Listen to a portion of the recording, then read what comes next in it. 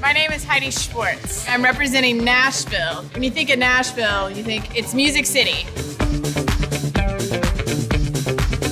I paint in front of people a lot, so this is actually pretty normal for me. The twist on this was it was more like electric youth here. There was a lot of energy.